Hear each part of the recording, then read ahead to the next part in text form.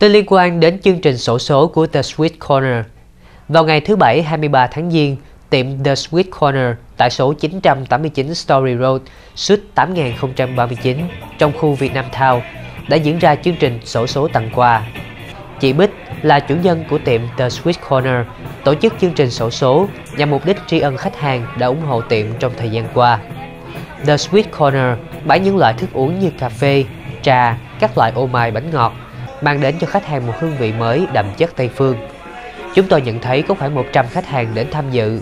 Những gia đình, các em thanh thiếu niên đến đây nhâm nhi những ly nước pha chế thật ngon, thưởng thức nhạc sống và cùng tham gia chương trình sổ số.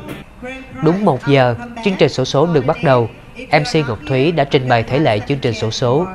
Lần lượt những giải thưởng được trao cho người may mắn. Hầu như ai cũng muốn may mắn thuộc về mình vì có đến 6 giải và tổng cộng là 24 phần quà như gift card của tiệm, 5 chiếc iPod Shuffle, 2 chiếc iPod Nano, 2 chiếc iPod Touch và một chiếc iPad đời mới. Chương trình sổ số xen lẫn với phần trình bày nhạc sống do ban nhạc Bobby Love and Sugar Sweet đảm trách, gửi đến quan khách tham dự một buổi chiều cuối tuần với những bài nhạc cổ điển.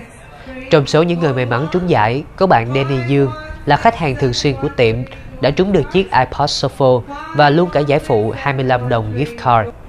Cô Leslie Trần là người may mắn trúng được giải độc đắc với một chiếc iPad đời mới.